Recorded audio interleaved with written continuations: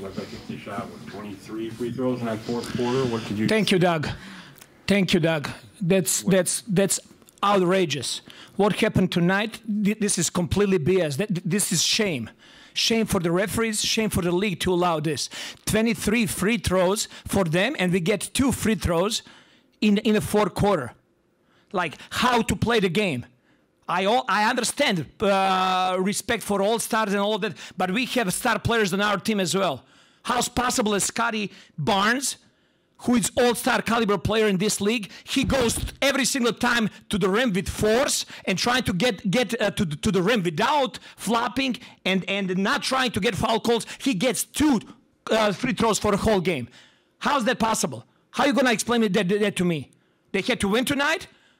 If that's if that's the case, just let us know so we don't show up for the game. Just give them a win. But that, that was not fair tonight. And this is not happening first time for us. Scottie Barnes is going to be all star. He's going to be the face of this league. And what, what's happening over here eh, during whole season, I've been holding it back. It's a complete crap. Coach, do you feel like you're getting any explanations at all? That offensive foul, did you did you see like get any explanation? No, no, there is no explanation. They just they just come up there, they review what and they see what they want to see. They don't want to hear us what we got to say. They don't want to hear the players. They they, they, they don't just want to protect us.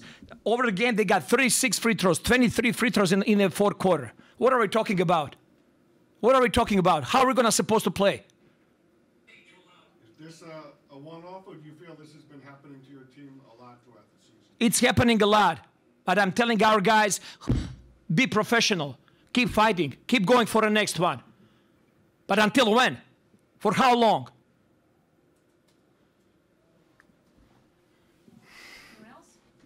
Thank you. Thank you.